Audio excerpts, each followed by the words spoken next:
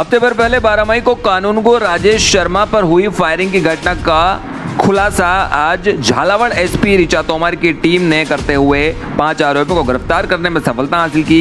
बीती 12 मई को डग तहसील के कानून को राजेश शर्मा, पुत्र पुरुषोत्तम शर्मा, उनसाठ साल के साथ भेरू महाराज जामुनिया से पहले शाम करीब साढ़े छह बजे जानलेवा हमला हुआ, जिसके आरोपी वारदात को अंजाम देकर फरार हो गए थे। कानून गो के छर्रे लगने से चोटिल भी हुए। आपको बता दें कि बेशकीमती ज़मीन को हथियाने व कर्ज के चलते एक साल पहले ही भवानी मंडी जेल में घटना की साजिश रची गई थी, जिसमें मुख्य साजिशकर्ता संजय मीणा और संजू निवासी चौमेला व महेंद्र निवासी चौमेला बताए गए हैं। और ज़्यादा जानकारी के लिए क्या कहना है, झालावाड़ एसपी रिचा तोमर का, आइए देखते हैं। 12 मई को राजेश शर्मा जो डग तहसील में कानून कोर्ट के पर कार्यरत है, उन पर शाम के समय फायरिंग की वारदात को अंजाम दिया गया। पुलिस ने इसमें त्वरित कार्रवाई करते हुए तुरंत प्रकरण दर्ज किया और उसके बाद उन्होंने जिन जिन लोगों पर संदेह ज़ाहिर किया था, उस पर अनुसंधान शुरू किया। इसमें ज़िले के लगभग पाँच टीमें, जिसमें पाँच पुलिस अधिकारी, सो हमारे जवान डीएसटी टीम, साइबर टीम पूरी पिछले एक हफ़्ते से कार्य कर रही थी। उन्हीं अधिक जो अथक प्रयास हमारे हुए, उसी से ये पूरा का पूरे प्रकरण का खुलासा हुआ है।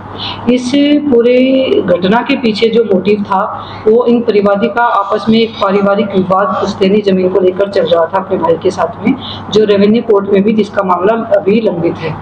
वो ज़मीन कालांतर में इनके भाई के द्वारा इलाके के ही खराब सूरत वाले लोगों को बेच दी गई। उन्होंने ये ज़मीन को हथियाने के लिए इस वारदात को अंजाम दिया।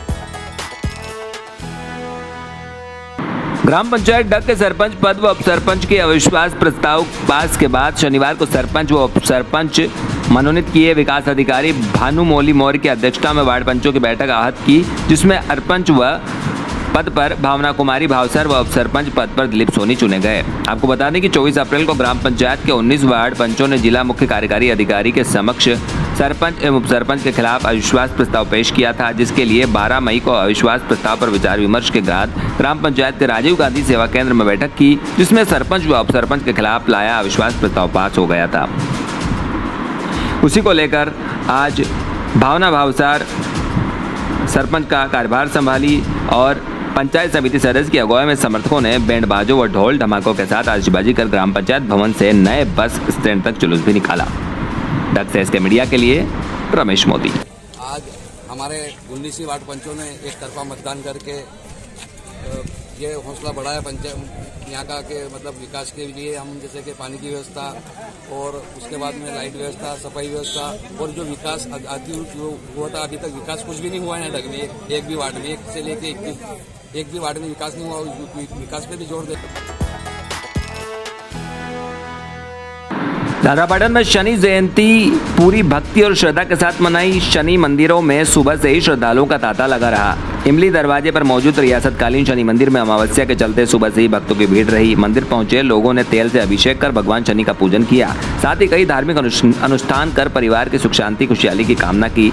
शनि नवग्रह मंदिर में शनि अमावस्या को लेकर आरती के साथ विशेष धार्मिक धार्मिक कार्यक्रम आयोजित हुए। वहीं बीती रात भी यहाँ भजन कीर्तन का दौर जारी रहा। सुबह होते ही मंदिर में दर्शन के लिए भक्तों की भीड़ उमड़ पड़ी। दूरदराज के इलाकों से भक्तों का आने जाने का दौर चलता रहा। इस दौरान मंदिर परिसर में स्थित भगवान शनि की प्रतिमा पर तेल, काले तिल का विशेष अभिषेक हुआ। पाटन से इसके मीडिया के लिए फिरोज पठान। बानपुरा क्षेत्र में बढ़ रही लूट की घटनाओं को देखते हुए बानपुरा पुलिस एक्शन में नज़र आ रही है। दो दिन पूर्व ही घटित लूट की घटना के आरोपी को पुलिस ने मात्र दो दिन में ही गिरफ़्तार करने में सफलता हासिल की। थाना प्रभारी अवनीश श्रीवास्तव ने बताया कि दो दिन पूर्व कैलाश पिता आनंदी लाल निवासी ओसारा से भानपुरा थाना पर रिपोर्ट दर्ज करवाई कि आईसीआईसीआई बैंक भानपुरा से पैसे निकाल कर बाहर निकला तो कोई अज्ञात व्यक्ति उनके रुपयों का बैग छीन कर फरार हो गया।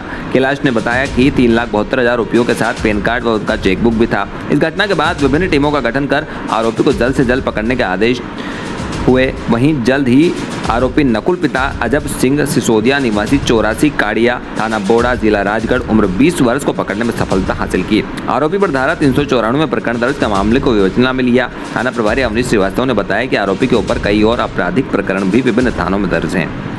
बानपुरा से एस मीडिया के लिए अफजल शेख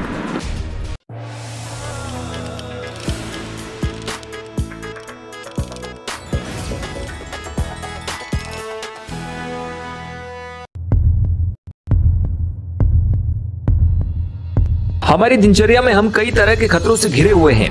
हर खतरे को हम टाल न सके, पर उनको सामना करने के लिए हमें तैयार होना होगा।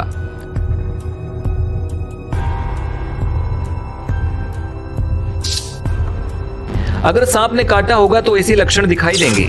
घाव के चारों ओर चमड़ी का लाल हो जाना और साथ के साथ सूजन आना। सांप के काटे हुए निशान के दो गड्ढे हैं तो समझ लीजिए कि वो जहरीला सांप था। गोलाकार या अर्धचंद्राकार आकार में दांतों का निशान दिखे तो चाहे वो जहरीला सांप न हो, पर जहरीला मानकर इलाज करवाना चाहिए घाव के आसपास किसी भी चीज़ से नहीं बांधे और घाव पर कोई जड़ी बूटी नहीं लगाएँ। घाव से विष को चूसने की कोशिश न करें, तुरंत घाव को साबुन और पानी से धोएँ।